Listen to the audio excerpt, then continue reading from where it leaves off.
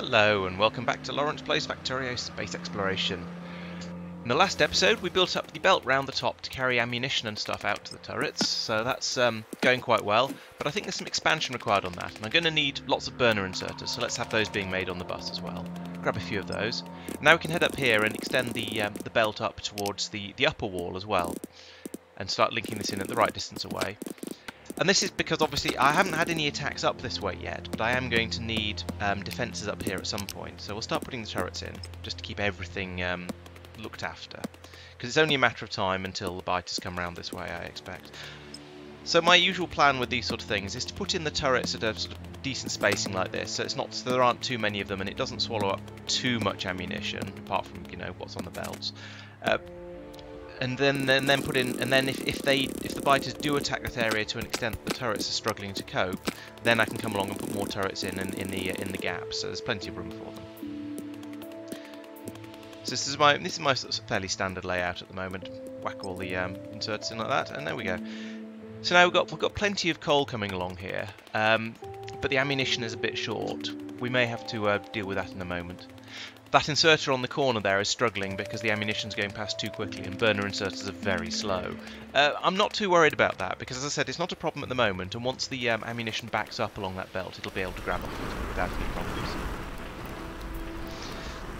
Down here we're still having issues with the um, with the copper, with blocking the um, the iron supply so I'm, I'm I'm str struggling a little bit to fix that, but I think having it coming in from both, having this, the uh, the splitter and balancer there will um, hopefully fix that.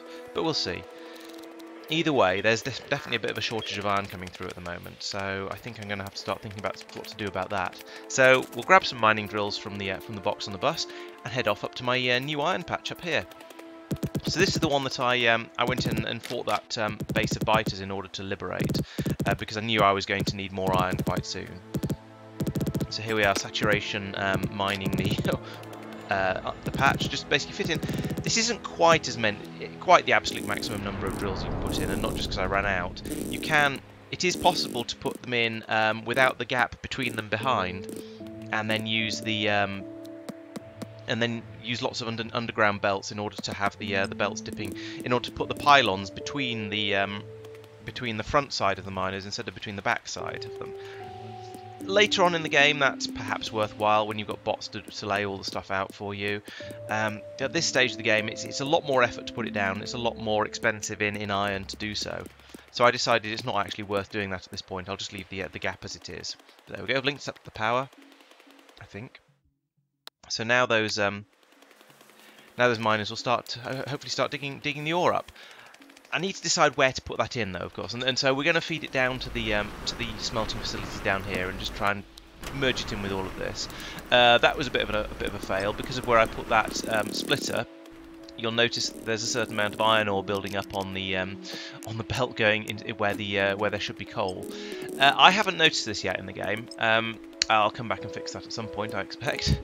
But yeah, it's easily done if you forget that um, insert that uh, underground belts can also take on take in on one side, and that used to be the way that you'd um, split products between. If you had a, if you had a belt that was half half stone and half stone brick, for example, you'd have to use half an underground belt in order to pull pull off just one side of it and not the other.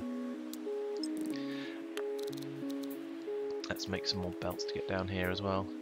So my having one machine making these belts, and again, I think it's it's slightly iron starved. There's um, not quite as much iron coming in to give it for the uh, cog, cog production for the belts as required, so that's causing a few issues. Oh, and this was frustrating. Um, so those meteor attacks that I've been talking about, um, where I've been looking on the map to see where they're gone, well, this one actually landed right in the middle of my green circuit production facility. Did Quite a lot. It it didn't destroy an enormous number of things, but it damaged loads of things in this area, so I'm now going in just repairing everything, bringing it back to back to, back up to scratch. So the um, yeah, turns out those that the uh, the meteors are a bit of a danger if you happen to be unlucky enough to have one drop into your base. So far, this is the only time it's happened, but um, yeah, it's something definitely something to be aware of. In the uh, once you get bots, I imagine it's not going to be quite so frustrating because the bots will come in and repair everything for you. But at this stage, I had to actually come in and do all of this by hand, and that was mildly annoying, should we say. oh well. Let's unload all the junk I'm carrying into, into appropriate places. Right, and now we have to. There, so this is the um, the belt of iron ore coming in from the.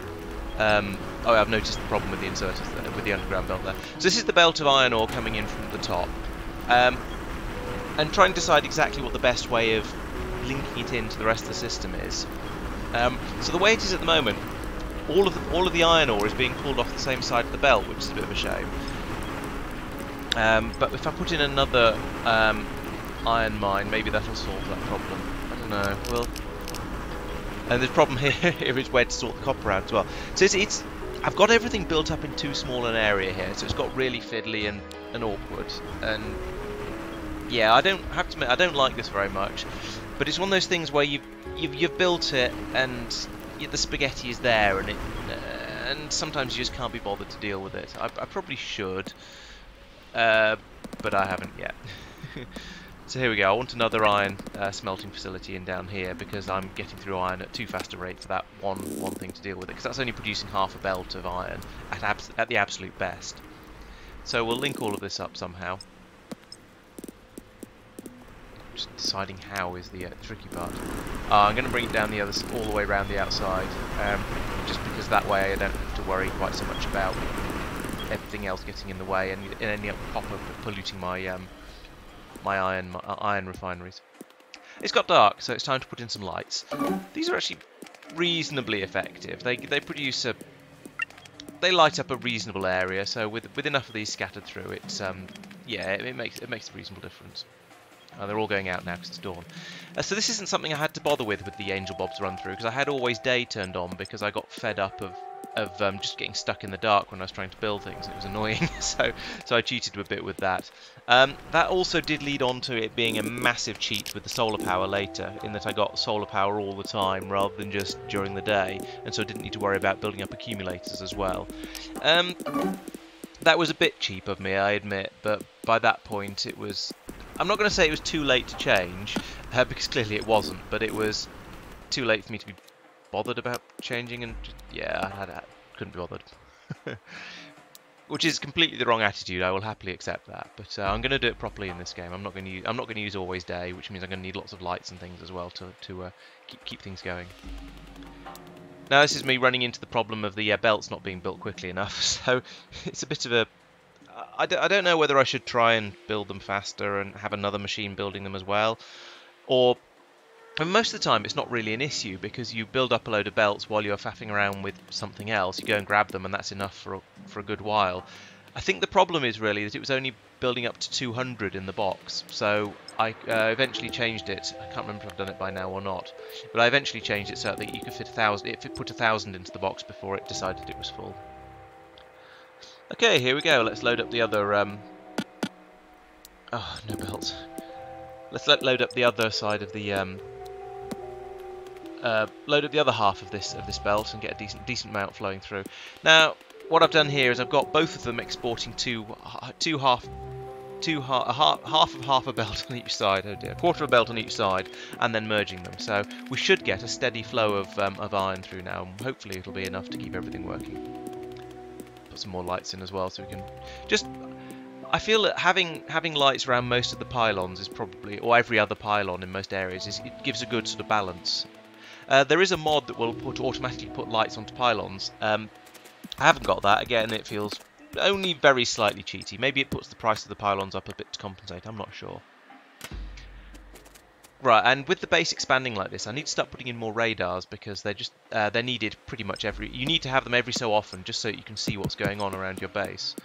Uh, so, and if I'm building lots lots of radars, then obviously I want to automate it rather than build them in my pockets all the time because that's just slow and faff. Uh, so we'll build up a little radar production facility here. That's so as you may you may have noticed earlier, I copied and pasted the um, production facility for the electric motors because that's something I've needed I've already designed it. There's no point in going through and trying to remember exactly what goes where again. So I just copied and pasted it. But because I don't have the bots yet, I still had to place all the components manually. Uh, that wasn't too much of a problem, but it's um, it's something else that needs to be done. Okay, I'm paranoid about um, the asteroid, so I had to look for that one. Um, and here we go. So the, the other, however, the radar requires slightly different components later on in that it takes the um, it takes stone bricks apparently and iron and, and green circuit. So we need to feed those across up another belt. This is reasonably straightforward though. There we go. It's building radars. Excellent. And we can finish the bus off as well, just to make sure all the, all the belts go along as far as they should. Okay, next job. I'm starting to run out of power. So one thing I've discovered is that the um, the the, the, the, the, boilers and steam engines, I believe, are slightly more efficient with um, with the amount of coal they use, the amount, or the amount of electricity produced for the amount of coal.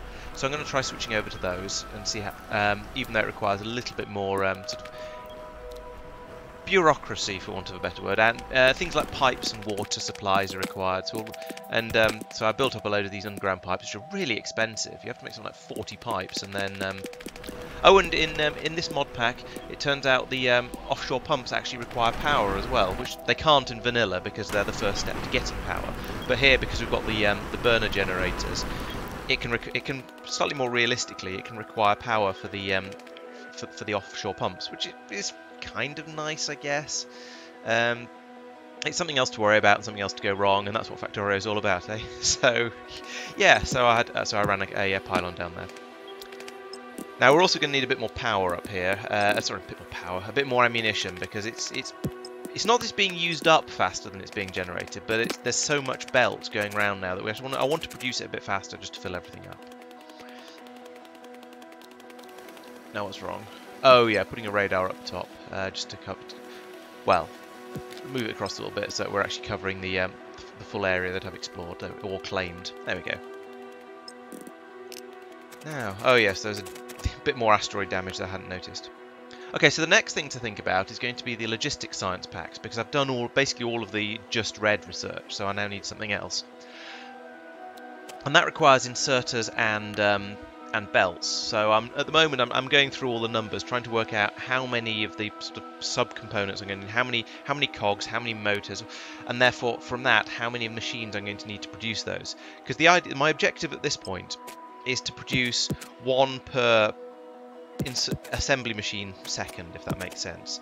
So if it takes five seconds to build a um, a, a, science pack, then I want to have five machines making them, so one is produced a second. Now, sure, there's a multiplier on that where the machines may go faster or slower, uh, but, it, but basically, if you balance it around that, then you should always get the right number out.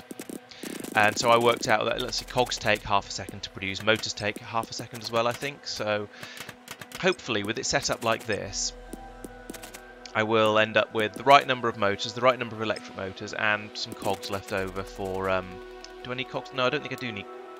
Uh, yes, I do need cogs left over for, um, for the belts.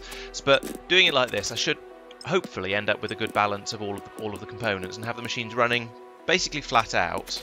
Um, although if they're, if they're, if they're slightly output um, restricted, it doesn't matter.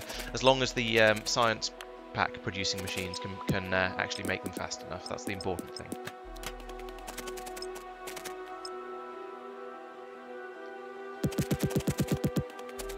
Okay, it's 10, not 5. Um, so here we go. There's a um, belt here that's going to be carrying the, the two subcomponents for these, uh, these uh, what do you call it, uh, assembly machines. For the, science, for the science packs, there we go. So it's going to carry the inserters and the belts. Plug it all in, see what happens. And this is about the point. No, it's not about the point I realised. in a moment, I will realise that I forgot the copper cables for the um, for the electric motors and I'll get a bit frustrated and try and botch it in somehow. But first I'm putting in the, uh, the a set of belts to put the, um, basically what we're doing here is we're putting the, the science packs on the bus and that means we can have red ones being brought all the way over here, put the green ones onto the belt as well, onto a belt as well with them, and then we can, and then we've got them both carried together, and we can put them into the um, into the research labs together. Lamps because it got dark. Thinking, I was thinking about thinking about how much how much that um, those cliffs are going to get in the way, and I think at this point it's probably going to be all right because by the time um, I want to build up the uh, science the the research labs far enough far enough to be a problem, I'm going to have got past uh, I'm going to have got enough research done that I'll have cliff explosives. Um, this is probably famous last words, and I'll regret it very soon, but Well, we'll see, I guess. extend the bus, extend the bus. Yeah, this is the point where I went, oh no, I've forgotten the, the cables. But fortunately, I can just squeeze them in here. It's a little bit dirty and spaghetti. But then, you know, that's how Factorio goes when you don't think about things properly at the, at the right time. I'm also, because I'm using the burner um, science machines at the moment, I'm going to need a, supply of coal up here as well. Now, as usual with me not planning things ahead properly, um, I hadn't realised at this, or hadn't noticed at this, remembered at this point that I'd actually got to the stage where I can start building the electric um, science labs. So we'll um, we'll do that in a moment. But for for now, it's um, we've got we can be, we can feed them all with uh, with coal and uh, and red and red and green science. That should eventually once this starts working. What have I missed out here? Oh, just some more inserters. Okay. Right, so that should now... There's a bit of a limiting factor here. The, the problem is, the, is um, I think to an extent, how fast the inserters can, can add the copper and the wires to those to, for the electric motors. So I think that might be going to be a limiting factor, but we'll we'll see how the research goes and whether whether it's a problem. I may need to end up end up um, having another machine building electric motors. Will or elect or cable elect uh, copper cables. But for now, we've got all four of the science machine science labs running, and I've just realised that I can make uh, I can make electric ones. So we'll head over here and um, free up a bit more space and set up some machines for doing that. And again, I could do it uh, manually, but at some point in the future, I'm going to want to have um, I'm going to want to have a system of labs that are going to be a system of it's a bit close. Um, I'm going to well, be able to want to automate putting them down, so I'm going to need to have them being built by um, bots. So it's, it's, just a matter of time. I think I have just about left enough room there for the uh, for the, the for the belts. No, I actually haven't. That's going to be a problem later. I've, um, so I've just realised there isn't now room for have to have two belts full of science packs on the other side of these labs. Uh, I think I'm probably going to end up having to move the whole thing one square to the left once I uh, develop cliff explosives. So that's a bit bit short-sighted of me, a bit frustrating. But at least I'll be able to carry um, six science packs in before it's a problem, and by then maybe I'll have moved off somewhere else. I guess we'll see see when it happens. It's amazing how many things you notice when you're um, when you're watching it back that you didn't realise at the time where you've uh, where you've screwed up. Because I had absolutely no idea I'd messed that one up. Have here more glass needed. I suppose since they look basically look like greenhouses, that makes sense.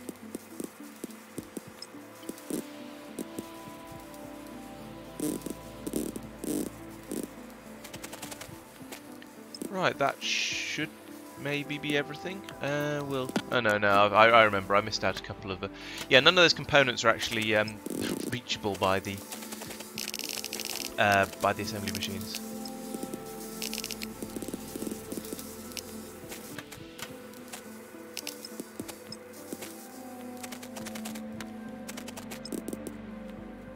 Oh, I take it back. I did notice that I'd not left enough space. So now I'm just I'm moving all of the um, I'm moving the lab science a little bit further over to the right just to get that bit of extra space it's going to need. And also it moves it a little bit further away from the cliffs, which is always nice. Uh, let's just scatter some lights very randomly through the uh, mining areas. Right, I think that's enough for one episode. Thank you for watching. I hope you'll come back and join me next time. There's plenty more to do. Let's get that science up and running properly, and then we'll have so many more things to research. We can just, well, go absolutely nuts. Maybe, maybe we'll even manage another science pack. Let's see. Maybe oil. anyway, we'll see what happens next time. Thank you for watching, and I'll see you then.